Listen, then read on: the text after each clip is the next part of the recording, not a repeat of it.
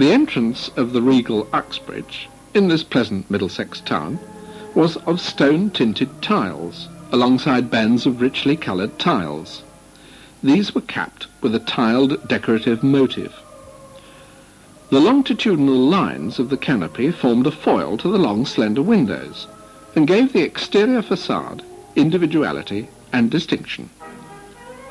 Although not planned as a Union cinema, the Regal Uxbridge was leased to them in 1935.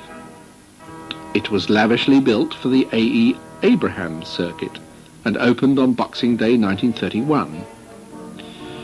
In the crush hall, the difficult problem of maintaining a continuity of design when faced with a sudden decrease in height had to be overcome. This foyer followed the general curve of the theatre's rear wall. It had some soft concealed lighting by means of bowls mounted on the supporting pillars, and the reduced lighting here was to prepare the patron for the auditorium. The auditorium was startling. The size, proportion, the magnificent sweep of its seating in one uninterrupted gradient from stage to rear wall, and the conception of its decorative scheme was dramatic.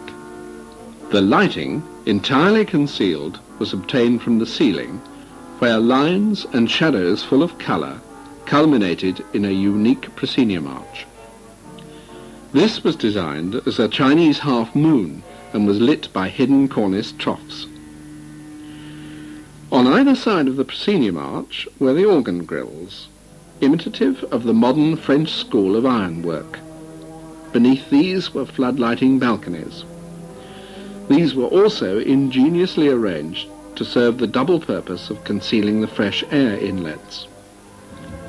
On the side walls, a feature had been made of the exit lobbies, where concealed lighting dramatized the plaster motive.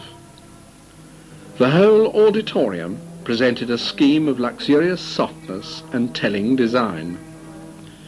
The organ was a two-manual six-rank Compton, the console was in the centre of the orchestra pit, but was not on a lift. The Regal seated 1,620 and its architect was E. Norman Bailey.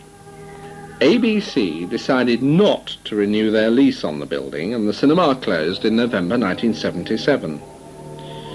It was one of the only ABCs to retain its Regal name, although this was not because of any sentiment of Associated British Cinemas, but rather because it was a condition of the lease. The building has since been split horizontally. Above this false floor is a discotheque and below a snooker hall. It is called Regal's.